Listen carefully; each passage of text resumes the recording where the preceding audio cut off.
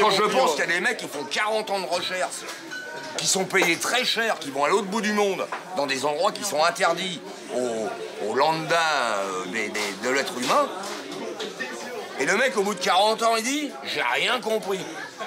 Ma grand-mère savait. Ouais. Elle savait.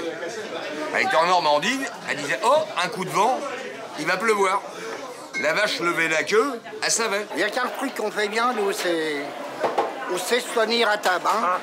Bon, la tienne. La tienne. Le temps, un halo d'Achécan, un atado des grenouilles, un atado des cri-cris. On a des bleuets, on a des coquelicots.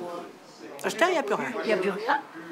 Dans le temps, un halo d'Achécan, un atado que chat des grenouilles. D'abord, une grand-mère, quand j'allais à Achécan, elle m'a déjà chéri, une tartine comme ça, elle n'a même pas dîné. On a l'eau que le soleil, on savait qu'il faut le manger, bon, ben, on mange. On s'assied à chéri, il y a chez grenouilles, c'était tout de nous. Et ma grand-mère a dit, bah, ce soir, elle sait quoi souper, me fait, là, elle elle cachera près des grenouilles, elle va leur couper leurs pattes, elle mangera des grenouilles pour souper. Dans le temps, t'es pour te permettre, parce que j'étais au- à une nuée de grenouilles. Bah, je te dis, t'en as plus. T'es que des crapauds, mais des grenouilles, t'en plus. Moi, dans le temps, chez ma grand-mère, on bouffait un poulet, on bouffait à 10 dessus. Oui.